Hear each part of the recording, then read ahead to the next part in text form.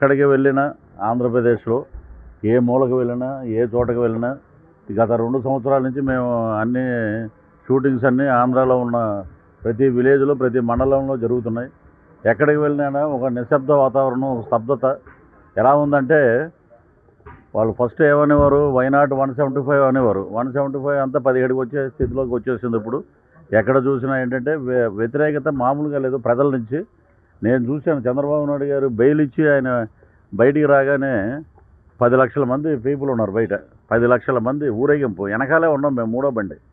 ఎక్కడ చూసినా వృద్ధులు మహిళలు రైతులు కుల మతాలకు అతీతంగా మొత్తం జనసేన తెలుగుదేశం ఎప్పుడైతే జనసేన తెలుగుదేశంకి ఆయన జైల్లో ఉన్నప్పుడు మద్దతు ఇచ్చారు పవన్ కళ్యాణ్ గారు ఆ రోజు నుంచి ఒక కొత్త ఉత్సాహం కార్యకర్తల్లో వచ్చింది. మేము మద్దతు ఇచ్చింది మేము రాజకీయ లబ్ధి కోసం కాదు ఒక దుర్మార్గ పరిపాలన అంతం చేయటం కోసం మా నాయకుడు ముఖ్యంగా ఆయన చొరవ తీసుకుని వెళ్ళి అందరినీ సమైక్యపరిచి రెండు జెండాలు కలయికే రాష్ట్రానికి అభివృద్ధికి నాంది రెండు జెండాల కలయికే ఈ రాష్ట్రంలో శాంతి భద్రతలకు నాంది రెండు జెండా రెండు జెండాల కలయికే మొత్తం అన్ని సమస్యలకి ఒక పరిష్కారం. ఆ దిశగా మనం ఒక బలమైన శత్రువును కొట్టాలంటే అందరూ మనం సమాయత్తం అవ్వాలి యుద్ధానికి సిద్ధం కావాలి.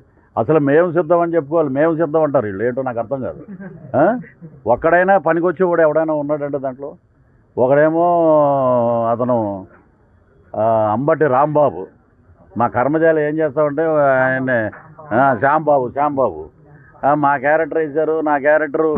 ఆ- బాధ ఏంటంటే క్యారెక్టర్ అని కాదు అసలు నాకే తెలియదు నాకు సముద్రకాని గారు పిలిచి ఒక దరిద్రుడు ఒక బాధ్యత లేనివాడు తిరుగుతుంటాడు. ఆ క్యారెక్టర్ మీరు చేస్తారా? ఒక నిమిషం కూడా ఉండదండి అంటే అలాగండి భలే పవర్ స్టార్ గారి పక్కన సెకండ్ ఉన్నా చాలన్నా నేను.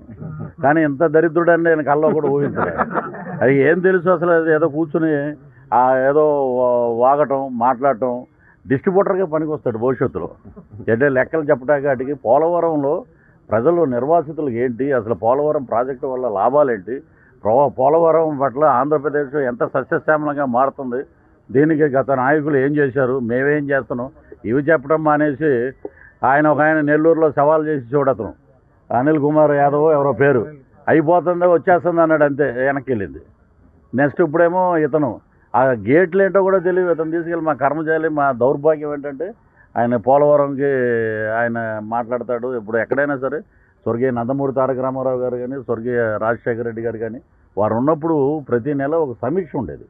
శాసనసభలో ఒక సమీక్ష పెట్టేవారు. ఏ మంత్రుల విభాగంలో ఎవరు ఏం చేస్తున్నారు రాష్ట్ర ప్రజలకు తెలియజేసేవారు. ఇప్పుడు ఏమీ లేదండి. మూడు పెళ్ళిళ్ళు రెండు చోట్ల ఓడిపోయాడు. వీడి పక్క నుండి పెళ్ళిళ్ళు చేసినట్టే. పవన్ కళ్యాణ్ గారు మూడు పెళ్ళిళ్ళు చేసుకుంటే పోలవరం ప్రాజెక్ట్ ఏమైనా ఆగిపోయిందా? ప్రజలు ఆలోచించండి. లేకపోతే రెండు చోట్ల ఓడిపోతే వీళ్ళు ఏమైనా నిష్ణాతులు వీళ్ళు ఏమైనా గెలిచారా? రెండు చోట్ల మా వాడు గెలిచేవాడే. అక్కడ ఏం జరిగిందో ఎలా జరిగిందో గత మేము అక్కడ ఉన్నాం కాబట్టి ఆ దిక్కుమాలను కాపురం చేశాం కాబట్టి మాకు తెలుసు. పవన్ కళ్యాణ్ గారు భీమవరంలో గెలిచారు. అది అందరికీ తెలుసు రాష్ట్ర ప్రజలందరికీ. కానీ న్యాయాన్ని న్యాయంగానే గెలవాలి పేదవాడికి దగ్గరగా ఉండాలి. ఇంకొకటి ఏం చెప్తున్నారంటే ఇప్పుడు కొత్తగా వీళ్ళ మిశ్రమ కూటమి కూటమి ప్రభుత్వం వచ్చేస్తే పథకాలు రద్దు చేసేస్తారు. మీరు అలర్ట్గా ఉండండి. అది ఇదనంటే పథకాలు రద్దు చేయరురా నాయన. మీ జగన్మోహన్ రెడ్డి జేబులోంచి ఒక రూపాయి కూడా తీయడు పీనాసి ముఖ్యమంత్రి రాష్ట్రంలో.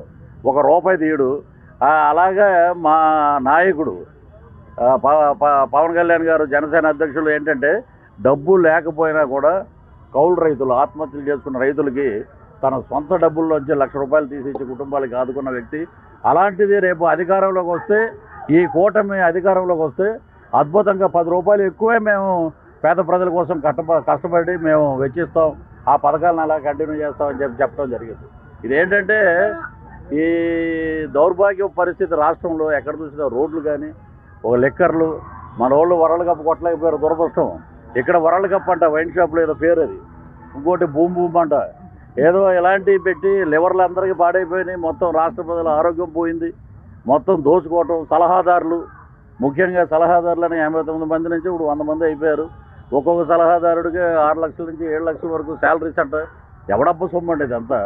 నూట నలభై కోట్లు దాని మీద వెచ్చిస్తున్నారంటే ఈ సజ్జల రామకృష్ణారెడ్డి గారు సకల శాఖ మంత్రి ఆయనే మాట్లాడతాడు ఎవడు మాట్లాడటం చాలామంది చాలా చోట్ల నేను షూటింగ్ వెళ్ళినప్పుడు కూడా వాళ్ళందరిని అడుగుతుంటా విలేజుల్లో ఏంటంటే ఎలా ఉందంటే అంటే శ్రీకాకుళం నుంచి ఇటు మన శ్రీకాళహస్తి వరకు ఒక్కటే. మేము ఒకటే చెప్పేది ఏంటంటే నూట ముప్పై ఆరు అసెంబ్లీ స్థానాలు ఇరవై ఒక్క పార్లమెంటు స్థానాలు కూటమి గెలుచుకుంటుంది ఇది మటుకు పక్క. ఎందుకంటే సి సర్వే కూడా దగ్గర దగ్గరే వచ్చారు నా సర్వేకి. సి సర్వేకి దగ్గరగా వచ్చారు. ఇప్పుడే మా